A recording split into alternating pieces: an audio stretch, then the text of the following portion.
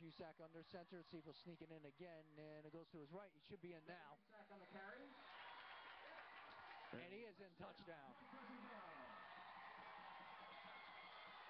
That was a one-yard touchdown carry by number five, Noah Husak. So Noah Husak scores a touchdown from one yard out, and the Panthers are one point away from tying this one up. An extra point away.